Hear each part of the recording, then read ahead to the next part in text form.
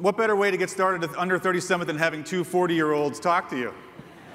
Right? But uh, in fact, um, Peter was once one of you guys. He was, uh, I don't know, how old were you when you found, co founded PayPal? Uh, 30, 31. 30, okay.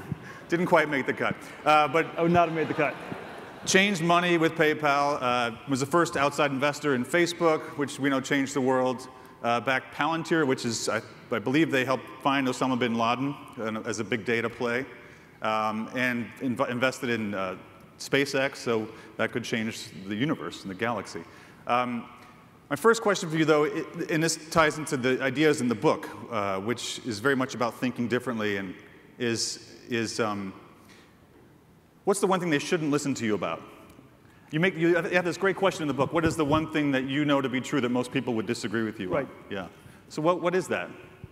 Well, I'm, I'm, sure there's a lot of things people shouldn't listen to me about. They probably shouldn't listen to me about fashion advice, or they shouldn't listen about um, all sorts of things I, I don't know that much about. Um, and I, I, do think, um, even with respect to starting businesses or uh, in technology, so let's even focusing narrowly on technology startups, um, the, uh, the substance of what, uh, what people do is, uh, is, always, um, is always unique and different. Uh, I think every moment in the history of business happens only once. You know, the next Mark Zuckerberg won't be starting a social networking site. The next Bill Gates won't start an operating system. Um, you know, the next Elon Musk won't start a Tesla electric car company. Um, and, uh, and so and so, there, and, and so I, I, what, I, what I always push back on uh, really strongly is that there's some kind of straightforward formula because we're always looking for some sort of pseudo-scientific formula. Um, you know, science starts with the number two, with things that are sort of experimentally repeatable, but, um, but great businesses is, are zero to one. It's, it's, they're always one of a kind. And so there, there is always this anti-formulaic quality, um, and that's why um, that's why I don't have, like, there are a lot of specific things I can't give advice on. The, um, the, the, the, one theme that I always come back to, though, that, that comes out of this anti-formula formula, out of this one-of-a-kind nature of, of great businesses, is, uh, is this need for differentiation. What are you doing that nobody else is doing? What ideas do you have that nobody else has? What great business are you working on that no one else is working on? And, um, and, and the, and you know, the, the, the business idea that I come out of it from is that uh, if you're a founder or an entrepreneur, um, you should always aim to build a monopoly where you're the only person in the world doing what you're doing. Um, and I, I, I, often think, this is a little bit extreme, but that there really are only two kinds of businesses in this world. There are businesses that are in crazy competition, and there are one-of-a-kind businesses that are monopolies. Mm -hmm.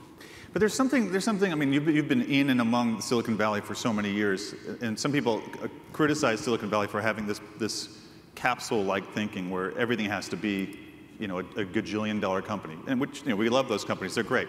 But everywhere else in the country, people are starting restaurants and starting, you know, warehouse companies, distribution companies that aren't going to be multi-billion dollar companies, but they're really, for those people, that's their passion, and they're excited about it. So the idea, how do, how do you make sure the ideas in, in your book don't discourage them from at least having some economic interest in what they're doing?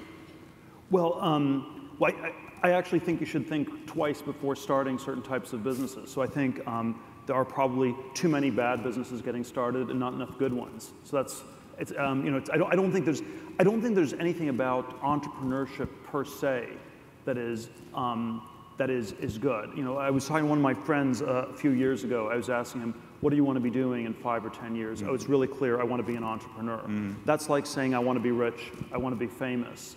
Um, and I, I, don't think, uh, I don't think. Those are, those are good things, being rich and famous. Um, they're not good as direct goals. Like if you, if, you, if you have that as your sole goal, you're unlikely to, I think, really, uh, really succeed.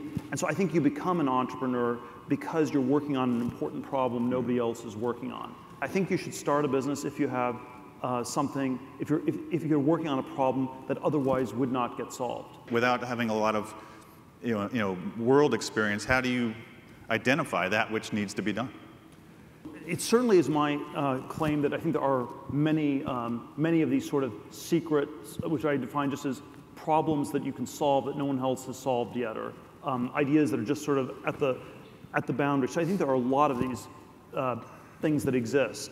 And I think it's always some combination of um, something that's an important problem, and often, um, often there's some reason people have a blind spot around it or aren't, aren't thinking about it. So I think there's always, I always like to get at it from both a sort of a foundational level, which is some, you know, maybe some substantive area that you're really passionate about, mm-hmm. and, um, and this sort of psychological level of why, why is this something that so many people are missing in one way or, or another. You know, the word, already in the time of Shakespeare, the word ape meant both primate and to imitate. And, and uh, you know, we, uh, imitation plays an enormous role. It's how we learn language as kids. It's how culture gets transmitted. But it also leads to a lot of insane behavior. It leads to sort of the madness of crowds. It leads to bubble-like uh, behavior, which we've seen many in our society in recent decades. And so, um, and so I think this um, challenge not to just reflexively imitate and to think for yourself is um, it's, um, it's always very trivial to say, and it's always um, quite hard to, to actually do. Um, and, and, you also take issue with the way a lot of young companies run. There's, there's, a, there's been a big fad or trend, uh, an approach uh, of lean startup. Uh, I mean, uh, where you, you know, you, small teams, put out the quickest product you can, get a look at it, get the market to look at it, fix it as you go. Uh, everyone's doing that. You think that's wrong? I think, um, you know, I think that uh, I think there definitely are things that one can iterate on, but the the core thing is to have a great product, and then you can always improve and and iterate on that in all sorts of ways. And I think, you know, I think um, even in in the tech industry, um, uh, what's striking is how um, weak on a quantitative basis so many of the successful companies were. It was just they had a great product, and then years later they were able to optimize it in all sorts of all sorts of ways. Um, whereas if you're just trying to optimize and you don't have a great product, um, I think that uh, that rarely works. Um, I think it's always worth asking, you know, where you're going to go with this business. Um, and so I think we're always focused on very short time horizons because you have to you know, figure out a way to get through the next month, the next quarter. Um, you know, how do you get some customers? How do you, how do you track? But it's, it's always worth thinking ahead, you know, five to 10 years. You know, why will this be a really valuable business in five to 10 years? And um, you know, how's the competitive landscape going to develop? How's technology going to develop? How's the world going to develop? Um, these are hard questions to yeah. answer, but I think, um, I, th- I think, I think the, uh, the great entrepreneurs that I know always have some perspective on it. And it might be wrong, but it's just this is what's going to happen, and then it's sort of well reasoned, mm-hmm. and uh, and so you have a you have a plan. It, and you know, it's uh, when I when I was playing chess, uh, you know, in, in, junior high school, one of the early lessons I learned was a bad plan is still always better than no plan at all. Right. And so, you know, have a plan. You can always change it, but don't uh, don't just pretend that uh, that you have no clue about what's going to happen and that everything about the future is random if you, if you sort of say that everything's random and out of your control, that's, that's, that's the way you set yourself up for failure. Right. You talk about that as like even as a societal problem in America today. Like we, we are a nation of optimists, but without a definite idea of where we're going. Unlike say, you know, maybe 50 years ago or. Well, it's, it's, you know, it's, it's, it's, it's, the way, it's the way the whole education system works, where you, know, you, you build a resume with you know, a wide uh, variety of activities and then uh, you go to college, you get some general degree, and then uh, it's supposed to lead to various uh, jobs that lead to other jobs, and it's sort of this this random walk where you sort of figure out what to do, right. Uh, what to do in your future, and I and so I do think. Um, I do think we, we, we overplay the role of luck, when we, over, when we exaggerate the role of luck in our future. I've, I've, said, I've said, you know, I think luck is like an atheistic word for God, where when we, when we attribute too much to luck, we, um, we stop think, we, we could be thinking a little bit more. So you think it's is it the old hard work you make your own luck that that old? That, I like that. Okay. So this whole idea of well, well, because go back to because most people in this room, you know, did all the right things. They went to good schools. They had good extracurriculars. They were, you know, captain of the debate team, whatever. You know, a little bit of everything. That's the wrong approach. People should be the most incredible tuba player ever, or no, no not necessarily. Uh, but I think I, I, I, think you should be doing something you're passionate about. So the question is always, you know, when I give my younger self advice, you know, uh, if, if, would I still go to Stanford? Would I still go to Stanford Law School? Um, possibly, but I think a lot more about why I was doing it. Was it is it just uh, you know, and I, I, was on this super tracked career yeah. myself. I ended up at a big law firm in New York. Uh, you know, my eighth grade junior high school yearbook, one of my friends wrote in, I know you're going to get into Stanford in four years. So I went to Stanford four years later, went to Stanford Law School, ended up at a big law firm in, uh, in New York, where on the outside everybody wanted to get in, on the inside everybody wanted to get out. um, when I left after uh, seven months and three days, um, one, one, of the, one of the people uh, down the hall from me said it was you know, really reassuring to see that it was possible to escape from Alcatraz, which, you know, all, and all you had to do was really just go out the front door. Mm. But, um, but so much of um, our identity gets wrapped up in the competitions we yeah. win. And, um, that, um, and when, you, when you compete, um, and I think a lot of the credentialing, resume building is this sort of competition. When you compete, you do get better at what you're competing at if you take lots of SAT test prep classes, you'll get a better score on the SAT. Um, and when you compete, you get better at uh, beating people on the narrow things you need to beat them on. But, um, but you often, it often comes at this very high price of, of losing sight of what's, uh, what's truly valuable and important and meaningful. Which is?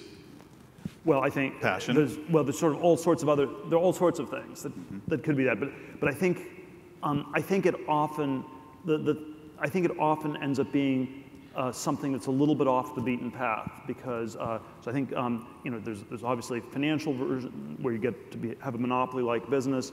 The, there's a the meaningful version I think is always counterfactual where if you weren't doing this, uh, would you know it's it's great to be working on problems where if you weren't working on them, nobody else would do them. You know if, if you're working at the fourth online pet food company, the 10th thin film solar panel company, mm-hmm. the 1000th restaurant in Philadelphia. There's a sense that if you weren't doing it, someone else would. Um, you know, if you're working at, uh, at, at, something where it's the only thing of its kind in the world, that's very meaningful. If, if we weren't, if we, and it could be for-profit, non-profit, yeah. all sorts of contexts. If we weren't doing this, this problem would absolutely not be tackled. I think that's the kind of that, that's, what's, that's what's meaningful. Whereas when you're competing, yeah. you're ready by definition um, number two, at least, in a so category. Did, did, this, did this whole, when you first met Mark Zuckerberg, did this, all this, I mean, looking in hindsight, did he encapsulate all the things you're talking about? Was, was he doing this because no one else was doing it? He was doing it because he was passionate about it? Was he doing it because he had an awesome product? Well, he was, he was incredibly passionate about it. Mm-hmm. Um, it was, uh, you know, there's always because it was the Winklevoss's idea. You know that, right? Uh, I looked into that. It, that's well, you, you, you know that the that their their dad was a plaintiff's lawyer, so we have to get like some of the details right in these stories. But um, but I think that um, I think that. Uh, there, there often are category, broad categories where you could say you could say there have been social networks before. Mm-hmm. Um, you know, my friend Reid Hoffman, I'm starting LinkedIn, started a company in 1997 called SocialNet. So they already had the name in the company seven years before Facebook. Now, their, their idea was that uh, you'd basically have this, uh, this sort of alternate virtual reality where, um, you know, maybe I'd be a cat and you'd be a dog, and we'd interact in cyberspace, and we'd have these different rules of how we'd conduct ourselves. Um, and so, the, and I think Facebook was the first one that actually cracked real identity. Was um, was at its core about, um, about real people um, in a way that um, none of the others quite succeeded. Even, even MySpace was more, it started sort of in Los Angeles. It was about people pretending to be someone other than who they are, which is what people do in Los Angeles. Um, and um, you know, Facebook started at Harvard, where it was, it was sort of basically um, trying to get a map of, of real identity. So right. I think it was the first one to really crack that problem. And, you know, and, and Zuckerberg was you know, very passionate about it. I always, I always say that the, uh, the most important moment in the history of the company was in um, 2006, in July of 06, when Yahoo offered us a billion dollars. Zuckerberg was 22 at the time. He owned a quarter of the company. Mm-hmm. Uh, it was just a college site. We had maybe 35 million in revenues, no profits. And so we had a board meeting. Three of us met uh, Monday morning. Zuckerberg starts the meeting off saying, well, this is a formality. Obviously, we're going to turn this down. And uh, myself, Jim Breyer, the two investors on the board, both said, you know, we should probably talk about this a little bit more. and, um, and so it ended up being not a 10 minute, it ended up being like a six hour long conversation, but it was sort of all about like, well, Mark, you'd make a quarter of a billion dollars. There's a lot you could do with this money. Um, and it was, well, I don't know what I'd do with the money. I would just start another social networking site. But, um, but I kind of like the one I have, so why would I get rid of it? Right. And, um, and at the end of the day, the, the, the, key, the key point that, uh, that Mark made was that there were a whole set of products that Facebook was still planning to build. So not just iterating, uh, that it was planning to build that surely Yahoo was not valuing properly. Mm -hmm. And, um, and he, was, he was right. I mean, these, the future is never valued right. these things. When, and when you talk about important moments in the lives of companies, because a lot of people here are starting companies or ventures with people they either maybe know or don't know that well, you, you talk about in the book about the, the importance of picking the right founder, the right person to go in with. And it's not usually the one you might think is the right person. Well, I think it's, um, I think it's generally uh, good much better to do it with people you know well. You can sort of, there's some debates about whether it's good to do it with your best friends or yeah, not. Yeah. But, um, but I think it's generally a bad idea to do it with people you don't know at all. So, you know, it's sort of, I always like asking people the prehistory question. What, um, you know, how did the two or three people who founded a company, how did, how did you meet? How did, how did it come together? The, um, the bad answer is we met at a social network, at a networking function a week ago and decided to start a company because we both wanted to be entrepreneurs. Um, good answer is something like, um, you know, we've been, we've been talking about this for a number of years, thinking about in one way or another, and, uh, and sort of uh, pulled it together.